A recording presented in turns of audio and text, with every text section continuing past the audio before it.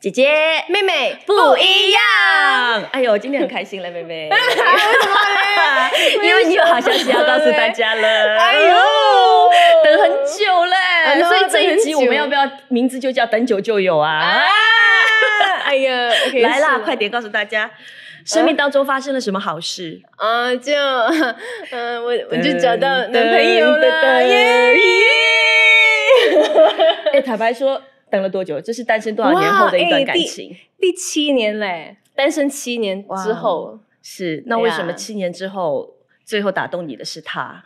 他特别在哪里呢？哇，他特别在他非常的体贴。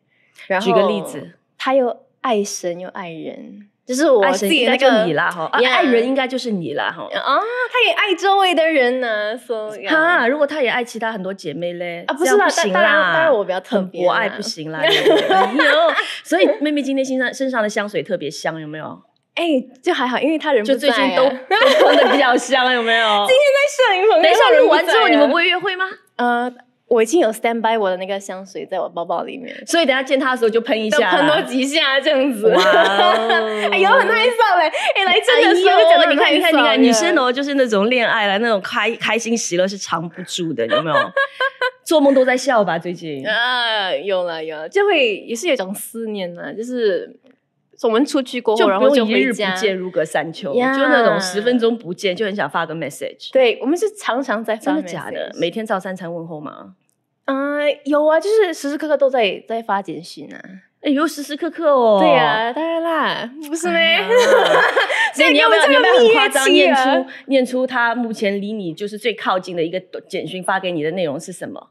哦，他是跟我哎。哎呦，哎呦，不肉麻的就算了，我们要选肉麻的来听。没有，他就是他问我已经到呃到摄影棚了没有？哇，就问候我。嗯，OK，所以像这种你。在热恋的时候，你会觉得是很甜蜜啦，是关心，当然啦，当然对。哎，女生其实也蛮难搞的。我现在突突然间脑袋里面闪过了一些就是很无厘头的想法，不然就分享一下。嗯，就那种当热恋的时候，男生这样做，你就会觉得哇，他好在乎我，他时时刻都在想我，然后让你上次我们有聊过，你的最基本的需求就是被爱的感觉，对，得到充分的满足。嗯，但是呢，随着时间的推移，maybe 慢慢两种可能，第一，他。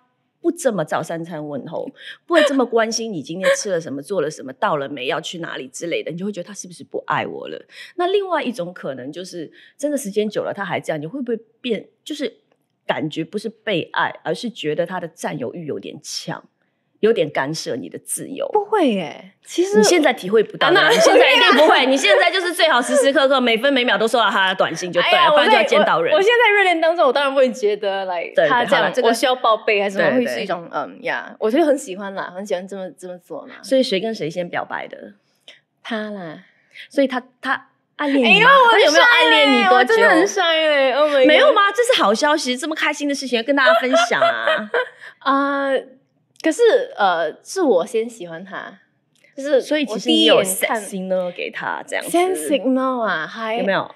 还还好啦，因为我会比较传统一点，所以我我 send 的 signal 也不会太过明显，因为我觉得我我比较喜欢男生追我。当然，我们有聊过这个，对对。但是有表示就是对他有喜欢呐，所以也就是你喜欢他的时候，他还没有发现你的存在，是不是？他知道我的存在，是你没有我的我的意思就是他的眼中还没有完全看到你的好，对对对对对。所以，但是你已经跟他说你有，就你已经让他知道你有喜欢他吗？还是我觉得没有很明显啦。哦，我不懂啊，我要问他。所以他是哪一件事情或者哪一个 moment 突然之间他就发现他的心为你而动了呢？啊哇，自己在夸自己，不好意思，没有，我就很喜欢听你夸自己，快点夸，敢敢夸，真的。来，哎呦，很帅耶！嗯，他就因为我我们一起出去的时候，不只是我们两个人，而是和他的一些学生们啊，就是学生变成朋友，嗯，呃，小我们好几岁的一些朋友们来一起出去，然后他就说到了他看到我怎么和他们聊聊天啊，怎么和他们互动啊，他觉得说，哎，我是。很爱他他的这些这些朋友啦，然后他看到了我这个这一面，然后看到我的心对他们的爱，然后他就被那个那一幕哎呦吸引了 吼，所以其实他心动了就跟你表白了啦，是不是？然后我们就有一天就在公园走走的时候，他就表白，突然拉住了你的手，没有啦。我们你这规规矩矩的，我很好，我很好奇规规矩矩的表白是怎么样怎么样发生的。就素敏，我喜欢你，你喜欢我吗？这样吗？OK，因为我是一个不喜欢在灰色地带待太久的人，所以我有问一些问题，就是呃，试着去问他说：“哎，你到底是在干什么？”呀，所以我就问他说：“哎，你就是你对待我的方式，就是这样子对待每个人吗？就是你对每个人都那么的好吗？”嗯，然后他就心里想了想，然后他就开始表白了。然后他就开始真的表白，然后我是一个很帅，我们两个就走。你帅，你心里面应该小鹿乱撞乱撞乱撞乱撞撞到心脏都要停止跳动了。他真的是把我的把我的情绪给 hold 住，不然我真的是会啊，我所以所以 所以就是当时 hold 了一下下，然后回到家就自己在那边哦，对对对对对，回到家跳舞，回到家就发简讯给我闺蜜，Oh my god，终于等到了。呀，OK OK 好，其实哎，我们离 OK 我们没有离主题很远吗？没有啊，这是息息相关，好不好？所以现在你已经有了一段恋爱了，然后接下来你就要好好的去经营嘛，对，去经营，对不对？所以经营的话，我们就必须要了解一个东西，那个是不得不知道的一个东西。嗯，哎，其实我以为全世界的人都懂了嘞，我觉得，可是我发现我在身边跟跟，可是我发现我在身边跟很多朋友聊不同年龄层的，他们没听过哎。所以我觉得我们有有有必要聊一下啦。OK OK，就是有没有听过《爱的语言》这件事情？嗯，其实它是一本非常非常畅销的书籍哦。它其实已经三十年了，所以我真的觉得可能大家应该都懂了。三十年，而且它有二两千万的销量，嗯，所以现在还在不断的上升。那其实《爱的语言》这个东西讲的非常的简单，他觉得每一个人接受爱跟表达爱的方式都是不一样的，所以很多的时候，可能你做的一些事情，你觉得你在表达爱。但是对方却接受不到，或者其实对方常常为你做一些东西，你并没有觉得他在爱你，可是对方一直觉得我已经很明显的在表达我爱你了，嗯嗯，所以他就列举了五个呃那个爱的语言的类型。就比方说有精心的时刻，嗯，有肯定的言辞，对，有身体的接触，还有接受礼物，对，接受礼物，还有然后的行动，服务的行为，对对对，服务的行为。所以其实每一个人他基本上接受爱跟表达爱都是这样的一种方式哦。其实很简单的，有的人喜欢听甜言蜜语嘛，对不对？他觉得你一直对我讲甜言蜜语，你就是在表达对我的爱。可是有些人可能他就会觉得，嗯。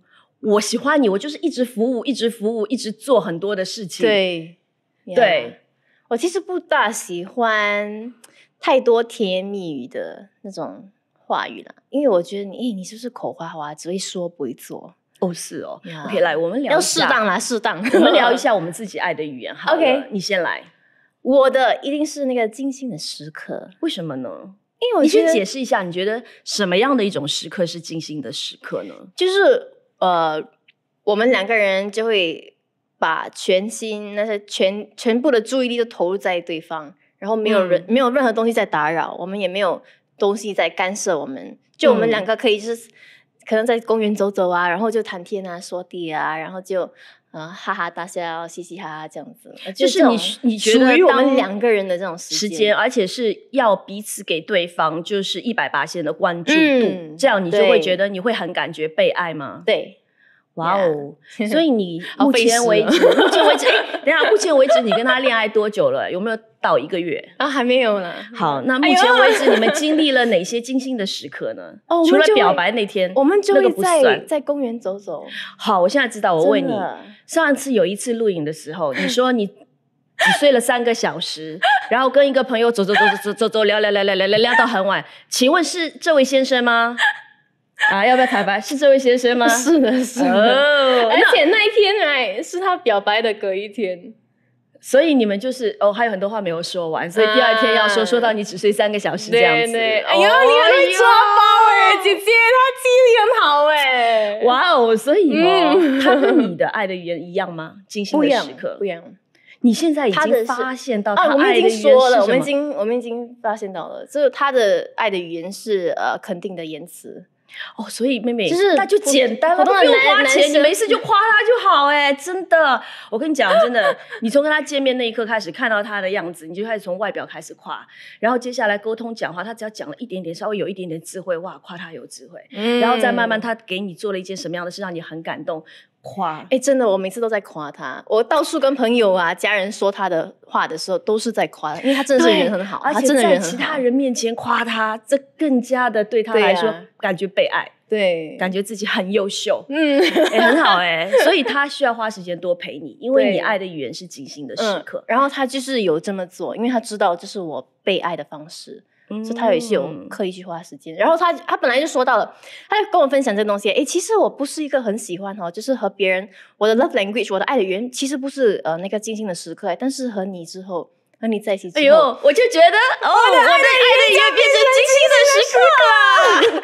但是关键是看谁跟谁在一起。嗯呀，好啦，就祷告他这样的一种感觉永远不会变啊。好，OK，Yes，OK。那你呢？你呢，姐姐？我哈，我 OK。我觉得在聊我的爱的语言之前，不然我先想问问看，你们有没有计划接下来有没有刻意的去安排要彼此做一些什么事情？哎。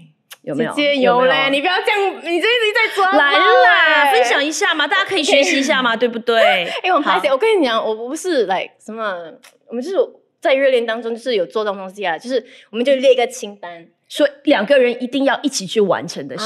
就这一天，我们可能会去野餐啊，另外一天可能带他的狗狗去那个野餐啊，你不怕蚊子咬哦？OK，找个没有蚊子的地方。好，Sorry，Sorry，Sorry，继续，继续。然后就呃，可能另外一天就哦，他有狗狗，他有狗狗，哎呦，很可爱呢，可爱哦，我也好喜欢呀。就带他狗狗去那种呃 dog cafe 啊，咖啡厅那里去一起吃。然后另外一天也是安排说我们可以看呃舞台剧啊，因为我喜欢看舞台剧。嗯呀，就有列这种东西啊，来哦，我们一定要这样子一起做一做那种 couple couple 的东西。哎呦，很 sweet 嘞，我觉得绝了嘞，这是很重要，这很重要，这真的很重要，因为我会觉得大家都很忙嘛，好像我们每次都会。讲大家都很忙，然后你的工作、你的其他的呃朋友已经占据你很多的时间。那如果说你在一场呃爱情里面，不管是谈恋爱的阶段还是婚姻的阶段，你们真的是需要很刻意的去安排两个人的精心时刻，真的要去隔出时间。对，而且我其实本身觉得，不管说精心时刻是不是你爱的语言哦，我觉得这在一段关系里面都是极为重要的，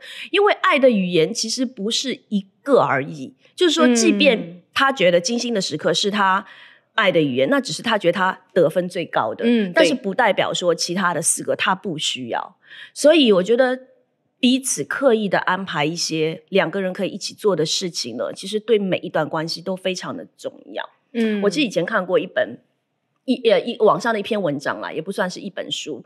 然后他就有谈到说，诶，他的建议就是说，在一对恋人踏入婚姻之前，他最好要去安排做的几件事情，就是你们要不要结婚，你们先做完这件事情以后，你们才做决定，这样子。啊？为什么？为什么会要做？他是规定的一些事情，也不是。我觉得那个作者可能只是他 OK。那个作者本身他是一个哈佛心理学毕业的，哈佛心理学毕业的，所以他是学这个专业的人。所以我相信他提出的这些东西呢，背后其实都会有在心理程度上面某种满足的需求在那里。OK，所以他才会觉得提出这样的一些事情去做啦。我们就跟大家分享一下好了。就比方说，至少一次长途旅行，我觉得这很重要。其实很多人都讲过嘛，如果你们两个人可不可以结婚，你们去旅行一次，然后而且不是那种跟旅行团哦，拜托。是那种你们完全两个人自己去到一个陌生的国度，那个国度最好是你们彼此都不熟悉的国度，然后你们就会在过程当中观察到很多东西，比方说那人花钱的习惯，嗯，那个人的优先选择的一个顺序是什么，然后因为。因为未知，因为陌生，所以有很多不可预测的状况会发生。你也能够看得出他怎样去面对这些不同的挑战。就是当各种各样的东西不是你计划好的，不是你预期的过程当中的时候，他是怎么样去应变，或者说他当下的情绪是不是一个稳定的人？嗯。然后在整个过程中，他会不会跟你很照顾？那可能在谈恋爱，你们一个星期见几次，但是去旅行，你们真的是每天从早到晚面对一 c 的。这样的话。啊，他会不会看腻你啊之类的？你知道吗？我现在不用跟他出国，我都在也是差不多面 everyday 面对一下。你的思维来，他在哪里？他等一下是不是来接你啊，妹妹哈？有没有啊？在工作在忙，看他我都受不了了。OK，好好，所以你有没有计划要跟他去旅行？暂时没有啦。如果但是但是如果真的去，已经还好了，新加坡已经开放了。如果真的去旅行的话，应该会应该会跟朋友一起去啦。如果真的有去旅行，OK，那我跟你说，如果哪天你决定要不要嫁给他之前，就不要有朋友，你们单独。啊，一个长途旅行久一点就十天以上的那种，哇，很长哎，哇，我不懂你你很嫌弃，不是不是不是，你不是你不要很期待，不是我不是嫌弃。如果你现在跟我讲我有男朋友的话，他会带我去一个长途旅行十天的，不是不是，因为可能我自己是觉得说，我要我不想在结婚之前和我的伴侣，就是和我的男朋友，就是去去出国旅行。为什么一定要在结婚前做？可是不代表你们要睡一个房间。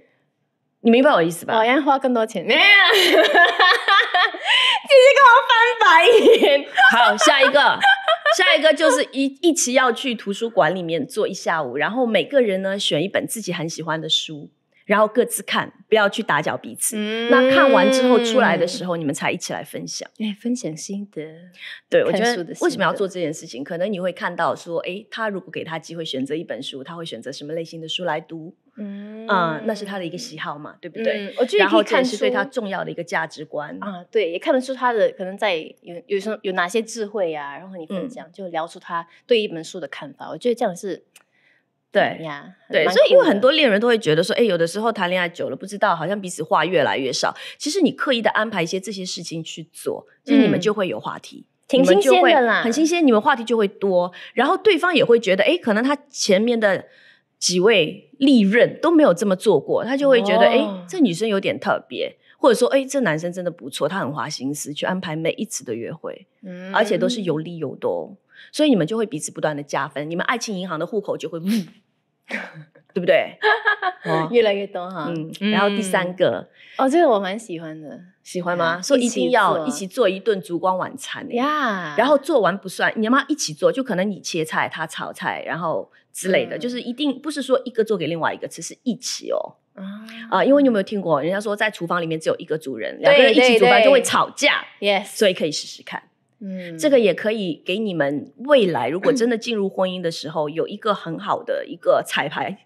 也就是说，以后一日三餐是要两个人一起分担的，OK？这种安排谁煮谁洗 谁切什么这样子，看看愿不愿意啦，也可以看一下他动手能力如何。你有没有曾经做过呃做过这样子一个像烛光晚餐？我跟你说，它上面列出来的地方，我一个都没做过啊。所以现在还单身了，所以大家知道吗？谈恋爱了就赶紧 OK 试试看。哎，我真的没有，因为我以前都不懂得要花心思去这样经营，我很随心所欲的嘞。我今天想到我就跟你就是要做什么我们就做什么，我不会觉得说哦，我们两个嗯好像要好像很精心的安排一次约会，然后要做一些很特别的事情。那可能热恋期我会有这样的感觉，就是我当时只是给他惊喜，我我不会觉得是我们要安排一个东西一起去做这样，而是我可能会。安排我给他的惊喜，可能送一个礼物啊，OK，，还是什么东西？但是其实我觉得两个人一起去完成一件事情是很重要的。嗯，对啊，就像刚才讲那个烛光晚餐，就你煮完之后，记得要两个人也要一起慢慢的享用。为什么？因为你们享用的时候，其实又在彼此沟通。对。又在眼中只看到彼此，哇！还要点蜡烛有没有？然后蜡烛灯光有点微暗，有没有？只浪漫一下。所以什么时候要跟他煮一顿烛光晚餐一起？我觉得是我煮他吃了，他他一起。人家说要一起，可是他有学家说要一起。他有说他会负责洗碗洗盘，他可以切 菜嘛？洗菜啦，至少我真的不懂哎，可能不会吧？培养他一下，要要他要学一下。对，但是如果我发现到，通常 OK，如果我说我在家我自己煮。呃，给家人还是什么？我通常都不不会想要吃哎，因为你知道，一直你煮煮煮，然后看那些看腻了，对对对，对，所以所以我一个人，我试了几次之后，我真的觉得。这真的吃力不讨好，我何必呢？对不对？就自己 又又洗，你知道，你每次你自己买一一一餐的食材，一定是超乎你一个人能够吃的，所以有一点浪费，有没有？你也不可能只是煮你一个人的量，然后你就会收在冰箱。嗯。可是你刚刚煮完之后，你会觉得哇，可能满身都是汗啊，又很油啊，然后你好累。你吃的时候你没有那么的享受，对，何必嘞？Sorry 啊。可是可是没有未来的老公，我很愿意煮饭给你吃哟。哇，OK，我只是现在一个人，我觉得我没有必要煮给自己吃，可是不代表我不愿意煮给你吃哟。OK，好好。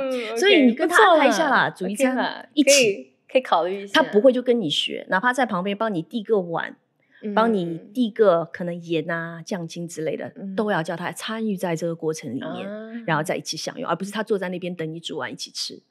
哇，直接在教我哎。对，而且洗碗你们也一起洗。要一起，你懂吗？不是说你煮，他在在那边等，然后两个人一起吃，吃完了之后 他洗完，你又坐在旁边等，你看你的电视，然后又没有交流啊。你知道我想，我脑海中想象那种洗碗的画面，是那好像哦，他在后面抱着你，对不对？啊，也是可以，也是可以，你已经有期待了。哎，你记得提醒叫他来听这一集了啊。他的他就知道你的需求是什么。他话语没有很好，没事，有空叫他跟姐姐来上课啊。开玩笑啦，OK 好，下一题，也就是说，哇，这个很好玩呢。哎，这样我觉得有点很好玩呢。我听了有点起鸡皮疙瘩。这 个我不知道为什么他会有这样的一个呃列出来说要一起做一件这样的事情。可是我在想说，应该是很有乐趣的一件事情吧。OK，他做嘛之前 OK，如果我真的有男朋友，我会试试看。我很想知道我们两个之间的反应会是怎样。我会觉得至少是一个难忘的经历。就比方说，他说你们要一起去到夜店。然后假装不认识，然后开始彼此搭讪，哎呀，而且还不许笑场，就是这样。OK，夜店我不知道夜店是不是一个最对的地方啦。就算不是夜店的话，我们哪怕在一个餐厅，就就很好笑啊，我觉得很好玩。就除非你们俩个性都是很爱玩的那种，嗯，然后你就跟他讲说，哎，我们就就要玩一下，然后这种吧好玩，因为为什么？我我我我在猜哦，我不是很确定，因为你他在好像看到你的时候，那是重新的一个追求的过程。那可能比较适合在你们已经恋爱已经蛮长一段时间之后了。现在的你们还不需要了。我觉得或者进入婚姻已经蛮长的一段时间之后，你们觉得彼此之间的新鲜感已经慢慢的没有的话，那你们就说好啊，哎，今天我们两个就大家都打扮的很漂亮，要穿的你觉得自己最有吸引力的一个装扮，然后可能我们就去到一个公开的场合，然后彼此不认识，最好是在这个场合里面也会有别人来追求你的可能性的一个地方，然后就彼此要。跟 each other 就是好像感觉像第一次见到你，那他就要追求你的过程啊，你又重新享受他夸你啊，哎，小姐一个人哦，建议我坐下吗？人就坐下，然后你要看他跟你聊什么，很好玩啊。然后你就坐下，你说哦，就看了，你也可以跟他说哦，sorry，这边有人了。然后你再看他要怎么办？你推推掉他，对他这边有人了，他说哦。在哪里？没来前我先做一下，你就会看得到那种性格，你们两个就会彼此之间这种玩，其实是好玩的。你会这样做吗？我会，我会，我会很好奇。就是如果我跟我的另一半，我们去这样试的话，OK。当然，话又说回来，这种东西都必须两个人都很有这样的想法。对。如果说你自己一个人玩的很开心，然后你很期待，然后另外一个觉得你脑袋有毛病，你知道吗？有点太无聊了，你干嘛要玩这种？不要了。对，然后那就代表你们两个人在这。这件事情上面没有共识，嗯，那就不要做，因为做了也不开心。所以，呃，如果他能够被你说服，说，哎，是啊，Why not？我们试试看啊，那就 Why not？就试试看啊。还有很多不同的活动啦，可以去尝试一下，不一定要做这个。对对对对对对对对，我的个性是我会啦，可是妹妹的个性可能就是我应该不会啦。对，我会很。然后另外一个我觉得很好。就是你可以一起去看一下彼此小时候长大的地方。哎，我觉得这个很好，我觉得我很喜欢。或者是如果真的去不到那个地方的话，也可以看一下旧照片。我觉得去到那个地方，嗯，然后你会跟他讲故事，旧照片也可以啦。但是真的能够去到那个地方，比方说带他看一下你最早小时候可能住的那个房子还在的话，嗯，因为那为什么要这样做？或者是你曾经的小学。啊，你每次好像放学之后，你会走这条路回家，让他陪你去走那些路，就可能对我来说，这种感觉会更强烈一些。因为如果我我想我如果在这边再有另外一半的话，他应该不太可能是跟我来自同一个地方的人吧？那不管他是呃什么国家的人，那如果我真的有一天可以带他回到上海，嗯，去看一下我曾经读书的地方啊，很好，那些东西是很特别的，因为那些地方里面承载着你的故事，那些地方地方有很多你美好的记忆，是他不知道还不认识你时候发生的，那你们就会有很多话题可以聊。对，我很喜欢这个，他可以更加了解你，哎，小时候是怎样的啊？对。对，我很喜欢这个，很酷的哎，很酷哦。所以你们要安排一下，要做一下。虽然你们都在新加坡，还好啦。可是你的小学啊、中学啊，你可以跟他聊一下，说以前你在这边的时候，可以了。然后你就聊到小学时候你的个性啊，中学时候你经历的一些事情啊，话题就来了。嗯，难道你不你不对他好奇吗？他小时候是个怎样的小男孩？他他有和我分享，就我是那种乖乖的，然后他是那种坏坏坏的。对啊，其实你们已经在分享了。对，然后另外呢，我就会觉得哦，可能一起去做义工，嗯，这也很好，我也很喜欢。好像你们如果有机会，我会觉得你们应该要一起去一次密训去宣教。我们有讲到哎，嗯，哎呦，疫情过后，哎呦，姐姐很懂你有 没有？姐姐。然后另外一个你们应该也有了啦，就一起照顾一盆植物，要真的啦哈，不是这样的。OK，一盆植物或者一个小动物啊啊，在你们结婚之前，哇，安排一下。你们有吗？他有狗啊，对，还有狗狗。他狗狗是他他家人，他家人一起照顾的狗狗。那你可能改次可以送他一盆花，然后让他每天可能，如果几天后枯萎了，你会怎样？没关系，我再买，我再送一盆。可是你就是要有那个经验，对，为什么会枯萎呢？下一次我们再一起，哎，一起有话题呀，一起对不对？对不对？看他喜欢动物还是喜欢盆栽啦。哇，最后一个我要笑死了。最后一个，可是我也觉得有一点道理。就是你一定要找个机会，再嫁给他之前，在他面前要放一个小屁，轻的还不行，要很大声那种。Oh my gosh！然后还有，然后你如果我 们，因为如果因为如果你办不到的话，哦，这位心理学家说很难一辈子在一起走下去。因为我觉得这个是对的，是啊，这种东西，对。有没有在你之前目前为止在男朋友面前做过这件事？没有啦。对，你看你现在还是属于喜欢把你最好的一面表现在他面前。但是我可以跟你澄清吗？我就有在他面前吃凤爪。凤爪 OK 吧？凤爪怎样？就很 unglam，你知道吗？就因为你要全部把那些，那比放屁好很多吧？对啦，出啦，把，因为你还要把那些骨头给吐出来啊，然后在他面前吐出来。OK，你已经慢慢接近那个状态，就是说，可能以后我觉得该维持的优雅要维持，然后该维持的那种。端庄要维持，可是呢，为什么他觉得这一点很重要？是因为婚姻都是两个人。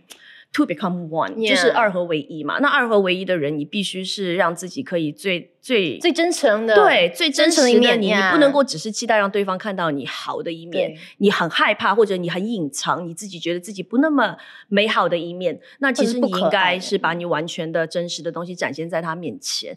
而且放屁这种东西人之常情，对不对？然后又不是说一个性格上的缺点或者一个态度、一个品格的问题。对呀，我觉得那是一个很自然的。可是你如果放不下的话，就代表你对他。还有很多的保留，不是一点保留哦。我是怕如果我真的味道，我我也是从来没试过。我有没有试过啊？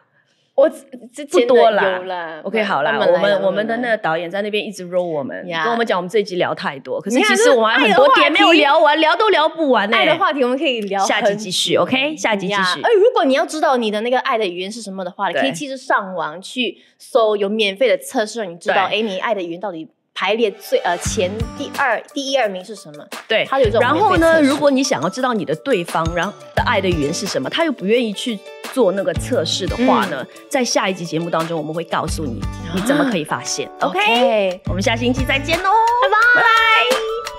如果你喜欢这期节目，请点赞、订阅并分享出去，也要记得追踪我们的社交媒体哦。下期见。